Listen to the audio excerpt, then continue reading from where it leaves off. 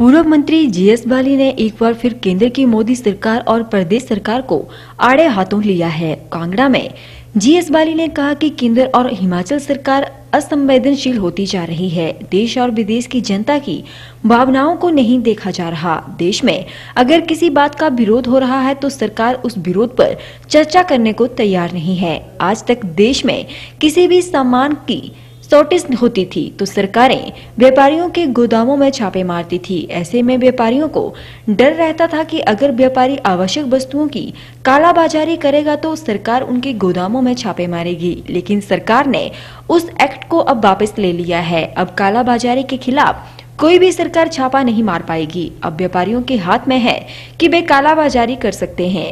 पूर्व मंत्री ने कहा कि आज आम नागरिक देश और प्रदेश का परेशान है कि पेट्रोल, डीजल की कीमतें लगातार बढ़ रही हैं, जबकि कच्चे तेल की कीमतें आज बहुत कम है। लेकिन आम जनता की ओर से कोई सुध नहीं ली जा रही है। देश में सरकार ऐसे कानून ला रही है जिससे महँगाई भी झेलनी पड़ रही है। बेरोजगारी भी झेलनी पड़ रही है, पेंशन नहीं मिलेगी, वो भी झेलना पड़ेगा। विकास का काम नहीं होगा, तब भी झेलना पड़ेगा। और यहाँ तक कि अब जनता विरोध नहीं कर पाएगी, क्योंकि उन्हें आंदोलन जीवी कहकर देश के लिए खतरा बताया जाता है।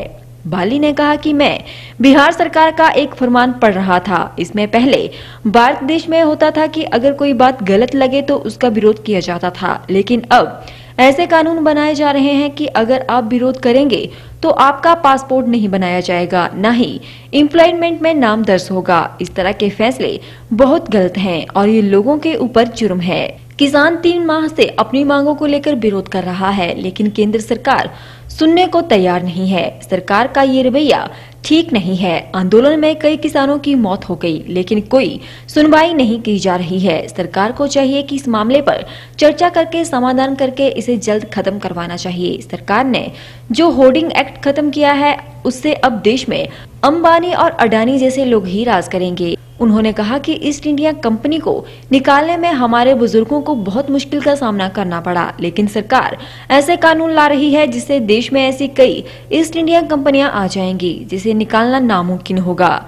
बाली ने कहा कि जब मैं मंत्री था, तब हमारी सरकार ने स्कूलों के बच्चों के लिए फ्री बस सेवा की सुविधा दी थी, लेकिन सरकार ने ये फैसला चुपके से वापस ले लिया है। सरकार ने अपने कई रूट बंद कर दिए हैं, कई जगह पर सिर्फ़ एचआरटीसी की ही बस सुविधा थी, लेकिन अब कई रूट बंद कर दिए गए हैं, जिससे आम जनता को नुकसान हो रहा है। पूर्व मंत्री ने कहा कि सरकार बात कर रही है कि सीएम रथ यात्रा निकालने की बात कर रहे हैं, लेकिन सीएम की रथ यात्रा का स्लोगन होना चाहिए, बेरोजगारी बढ़ाओ, मेरे रथ पर बैठ जाओ। सरकार पहले, जनता को बताए कि सरकार ने ऐसे क्या काम किए हैं कि वे रथ यात्रा निकालेगी। बाली ने टांडा अस्पताल की बिगड़े हालातों पर कहा कि टांडा अस्पताल का निजी अस्पतालों के साथ तालमेल है, जिससे टांडा में गरीब जनता का इलाज मुश्किल होता जा रहा है। कभी मशीनें खराब है तो कभी डॉक्टर उपलब्ध नहीं होते हैं।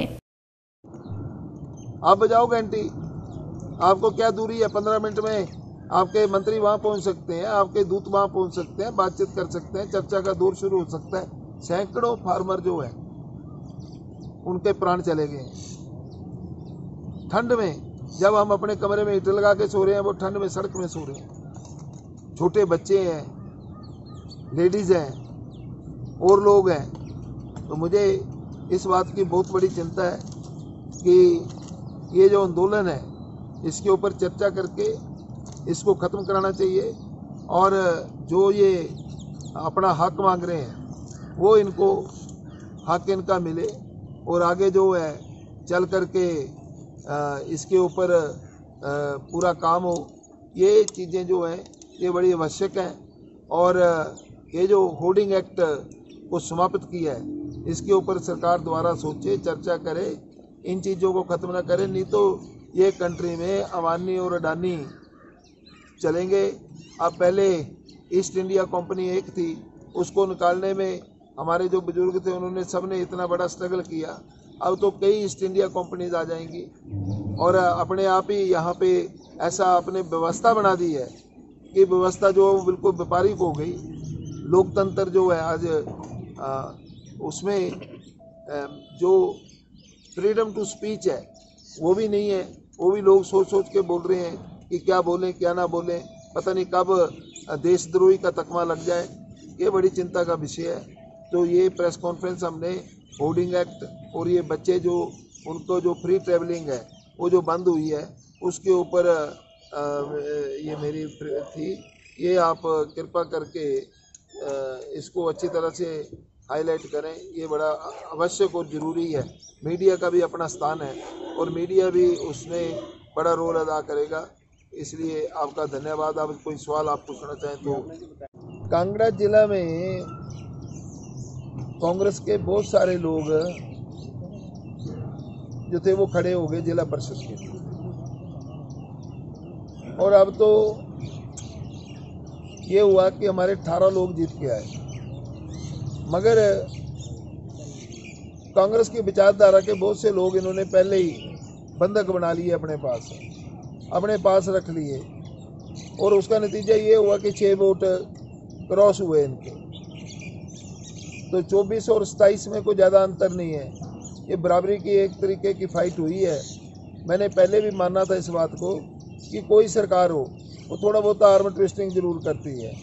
तो इन्होंने आर्म ट्विस्टिंग से अपने कुछ लोगों को अपने पास रख करके कई दिन तक, ये क्या होटल है डीपोलो है ना आप रिकॉर्ड चेक कर लो कितने दिन तक विधायक और बाकी लोग और मंत्री वहाँ रहे। तो आपको अपने आप ही पता लग जाएगा कि लोकतंत्र में ये हेल्दी ट्रेंड नहीं है। कांग्रेस ने किसी को अपने पास नहीं रखा, अपनी मर्ज़ी से अपने अपने घरों में थे, या फिर उसके जो क्रॉस वोटिंग होती है, उससे पता लगता है कि ये हमारे छः लोगों को ले गए हुए थे जो वापिस, जिन्होंने क्रॉस करके वोट कांग्रेस को डाला। जैसे कांगड़ा के अलावा बाकी जो दो जिलों में परफॉर्मेंस उसको कैसे देखते हैं आप? मैं परफॉर्मेंस की जहाँ बात है, मैंने कहा कि जब निशान के ऊपर होंगे इलेक्शन उसके बाद परफॉर्मेंस का पता लगेगा। क्योंकि परफॉर्मेंस तब तक नहीं हो सकती जब तक हम चीन के ऊपर इलेक्शन ना लड़ें। तो चीन के ऊपर पार्टी इलेक्शन सरकार कराए हम लोग लड़ने को तैयार है। तो नगर निगम के लिए चुनाव के कितने तैयार हैं? अब चुनाव चिन्ह जिला परिषद और समिति क्यों नहीं? सर नगर निगम के चुनाव भी क्या पार्टी सिंबल भी होने चाहिए? भाई अब ये सरकार का फैसला होता है। The government of the day will decide government of the day will decide whatsoever they will decide we are fully prepare to